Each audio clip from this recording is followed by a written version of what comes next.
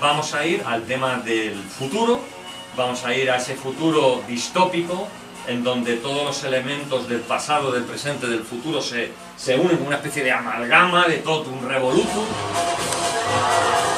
¿Y qué pasa con el resto? Pero claro, no es el fetichismo de la mercancía de Marx, ni volvemos tampoco a ese fetichismo visto por el psicoanálisis de Freud. Sí, lo que ha quedado en nosotros como esa popularización del concepto de fetichismo de la mercancía, que es la que va a tratar la película. Hay alguien que te mira hace rato. ¿Lo ves?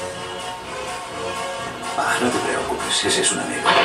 Guy Debord, Guy Debord es el autor de los años 70, 60, 70, que habla sobre el situacionismo francés y que ha- hace un ensayo muy importante que es la sociedad del espectáculo.